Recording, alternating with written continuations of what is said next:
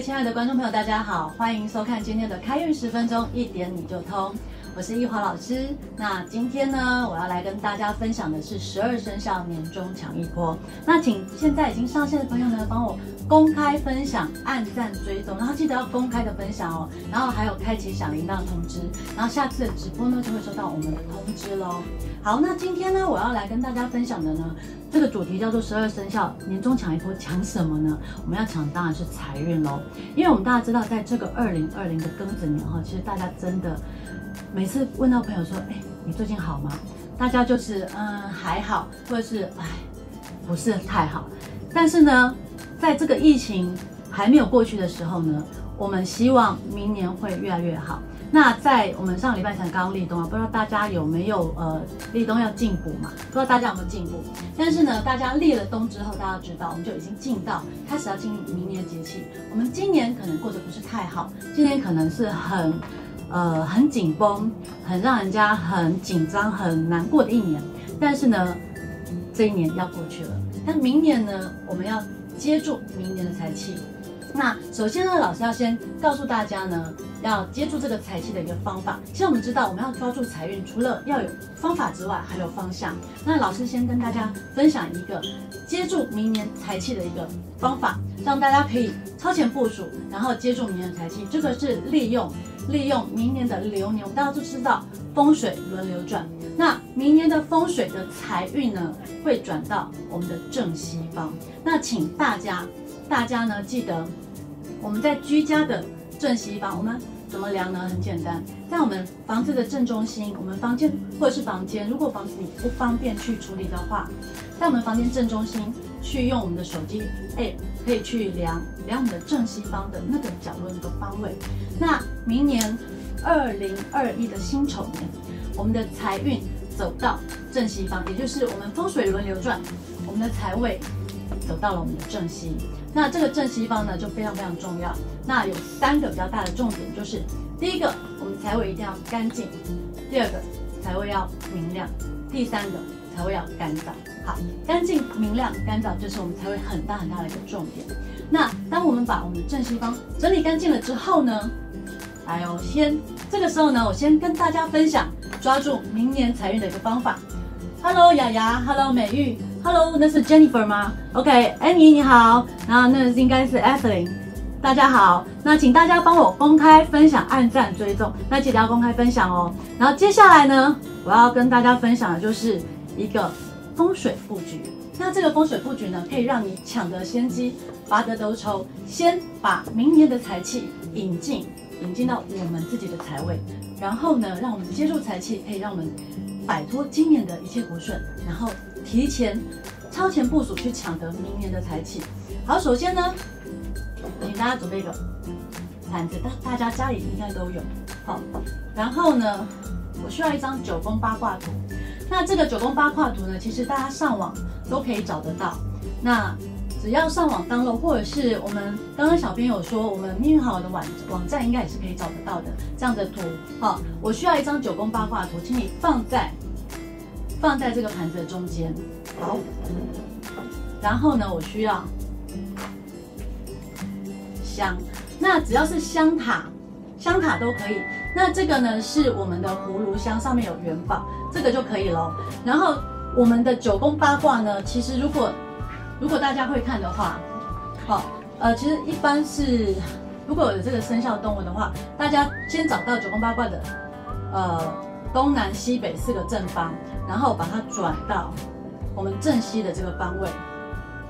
好，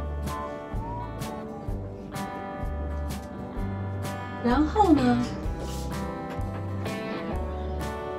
转一下那如果在我们这张九宫八卦图里面，它这个动物是，哎，好，如果大家看得到的话，是这一个，这一个卦，这个卦，请你留空。好，那也就是我们正西的那个方位，请你留空。然后我们需要七个香塔，就请你大家，我把我先把香塔排好了之后，再。拿给大家看，我们九宫八卦总共有八个方位，乾坎遁，呃，乾坎跟正巽临亏财，总共八个方位。那我需要你把正西的那个对卦空出来。对卦呢，就是它有两横，一个两个短短横。然后大家这样看得到吗？哦，要再举高一点，好。你会发现，我除了这个正西的这个方位的对卦之外，看得到吗？OK，除了正西这个方位的对卦开口之外，其他每一卦的地方我都摆了一个香塔。好，然后我需要八个铜板。那这个正这个正呢，这八个铜板就摆在我正西的这个方位，这个对卦的地方。那如果对九宫八卦没有那么熟悉的朋友，你可以上网去 download 这样子的图，然后呢去找到。呃，类似的图形，它只要有九宫八卦都可以。那你需要这个东西呢，放在你的盘子里面。那我在正西方这个地方呢，我要放八个铜板。那因为刚刚我们请我们的小帮手呢，帮我找的是八个十块。那如果你有八个五十块，当然是更好。好，因为我们要招的是呃，希望招到强大的财气。那五十块呢，现在是我们目前流通面值最大的一个硬币。那我们现在找到八个十块没有关系，十块也是很好的。然后把它放在这里呢，这个阵法呢，请你放在你已经整理干净的你的正西方的一个方位，然后请你方位这个这个铜板的缺口这个地方呢，请你对着正西，然后开始喽。我们在下个月，我们十呃，我们这个十月初农历的十月初一呢，就是我们国历的十一月十五号。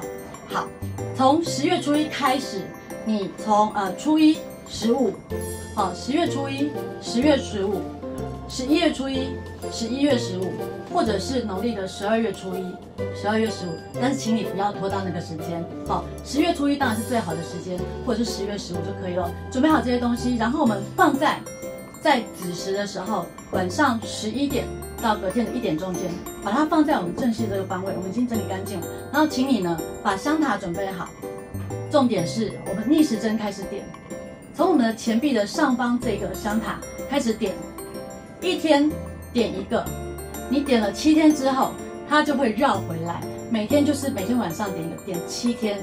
那如果呢，你的香塔足够呢，我会建议你点上连续七七四十九天，总共点七七四十九天，然后点七个礼拜。这个阵法呢，可以帮助你提早引进的财气到你的房子，到你的身上。然后这是老师跟大家分享的一个。呃，风水布局的一个方法，把明年的财气呢招到我们自己的家里面，招到我们自己的身上。然后呢，除了方法之外，我们也还需要方向。什么叫方向呢？因为每个人他可以得到财气的地方不一样。那这个呢是抢财运的一个风水布阵。那既然要抢财运，我们就来看看我们十二生肖，我们可以抢到什么样的财运。请大家帮我公开分享、按赞、追踪，然后呢，还有开启小铃铛通知哦，才能够继续收到我们的一些呃我们的直播跳出来哦。然后来，我们先来看生肖属猴、属鼠、属龙的朋友呢，他用这个风水布阵的方法呢，他可以抢到什么呢？他可以抢到偏财运。什么是我们的偏财运呢？包括我们是可以投资金融工具，我们可以呃短线的进出。但是呢，只要是新兴的金融商品，你都可以去尝试去接触。而记得一点，就是当我们在这三个月里面呢，短线的进出一定要见好就收，入袋为安。任何你如果说一个礼拜你发现它涨了，赶快卖掉，或者是你至少卖掉一半，然后剩下一半，你看它，你去观察它，再决定你要进还是出。但是一定记得，你短线进出，你才有钱财进账。然后重点是切记什么？属猴、属鼠、属龙的朋友，记得这段时间，第一点不要赌博，忌赌博，因为你抢了这个财运，你的天才会进来，但是如果碰到赌博，你的财运就会散失。好，不可以赌博，忌赌博，然后呢，博弈概念的商品或是金融商品都不要碰触。好，这个就是我们的一个禁忌。然后接下来呢，属虎、属马、属狗的朋友呢，他可以抢到什么样的财运呢？属虎、属马、属狗的朋友呢，他可以抢到贵人的财运。那什么是贵人财运呢？就是他会因为人际关系而得财。所以这段时间呢，他可以扩张业务，他可以去多参加一些呃业务之间的交流，或是参加一些商会，或是包括呃类似福伦社或是狮子会这样子的聚会。他在这个里面呢，他会碰到呃贵人，会给他带来很大很大的商机，甚至呢在短期间呢就可以让他有很大的一笔进账。如果是做业务朋友，非常非常建议你去参加这样的商会。然后呢，记什么呢？如果你要抢到这样贵人财运呢，你要切记。这个时间，这三个月时间呢，第一点，不能跟任何人有借贷的关系。什么叫借贷关系？就是我借你多少钱，你借我多少钱。那包括小额的也算哦。就是这段时间千万不要借任何的钱给朋友，不要说，哎，我们今天吃饭，他可能少带钱，他或是他忘了带钱，那我先借你五百块。好，那如果有这样子的借贷的行为呢，你可能就又把你的财运给借出去了。那在这三个月里面，记得这三个月里面千万不要跟人家有金钱的往来或金钱的借贷，包括三百块、五百块都是借贷哦。好，这个要特别特别注意。好，再来呢，下一个呢就是属猪、属兔还有属羊的朋友呢，在用了这个方法，用了这个风水的阵法呢，它可以抢到什么呢？它可以抢到它的正财运。什么叫正财运？就是我们在我们每天工作可以得到的收入。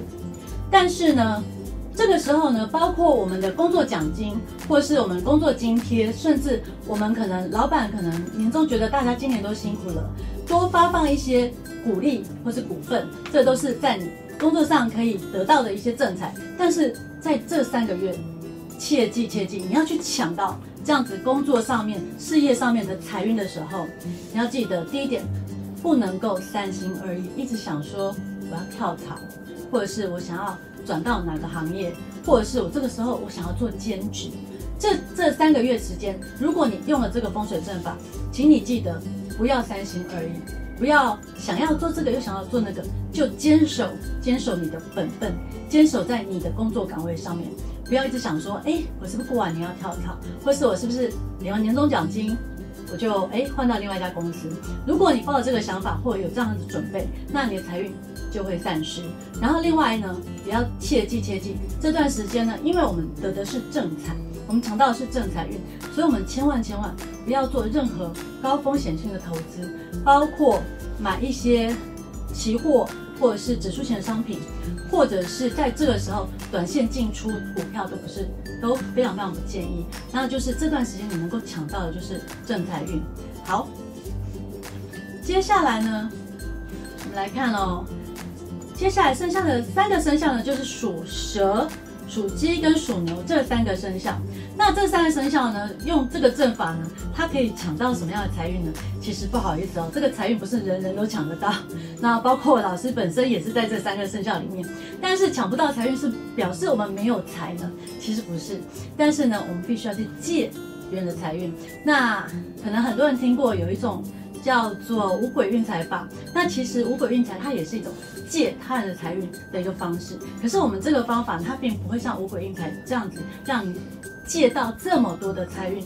可是呢，我们要借的呢是我们周边身边的人，或者是我们的亲朋好友，他身上可能呃他带财运，或者他有财运，但是呢，你可以我们台语讲说本来 hockey 就是。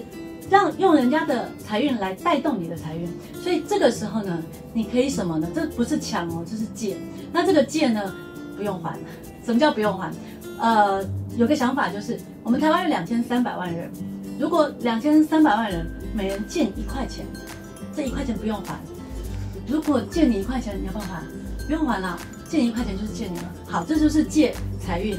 那这个财运呢，是怎怎么来的呢？叫做合作得财。什么叫合作得财？呃，我们常会想说合伙、合资或是合股，这个可能想象空间比较大。最简单、最简单的是什么呢？大家快到年终的时候，发现呃大乐透，然后彩券，或者是有时候去吃饭的时候，大家哎每个人出个一点点钱，几百块，然后一起去买刮刮乐。在这个时候呢，我们就是借由别人财运，所以你必须跟别人合作合伙一起去做这件事情。那如果这三个生肖，像哎，等一下小帮手，我们就一起去买彩券，好不好？然后就是我们借由这个财运呢，必须跟大家合作。但是呢，如果说你要借得别人财运，记得你记什么呢？第一点，刚刚说的金融短线的投资你就不能去碰，也不要做太大的进。如果说你是有理财的习惯，好，这段时间只能进去不能出来。那如果是短线进出，它就会破坏你这个借来的财运。所以如果说你要用这个风水布阵的方法去让你的财运好转的话，记得记得这段时间。金融市场只能进不能出，或者是你就不要进出，那一定不能够跑短线。好，今天呢，这是老师跟大家分享的一个，呃，明年二零二一，我们辛丑年可以把财运先提前，我们讲说，我们预提前预借现金，预借我们的财运，把财运借到今年来，希望呢，我们超前部署，提前布局，可以让让我们的财运呢可以好转。那如果呢？呃，大家有什么更想知道的东西，或者是希望老师下次分享什么，也欢迎大家呢，可以在下面留言告诉我们。然后希望大家呢喜欢我今天的分享，然后下大家下次见喽，拜拜。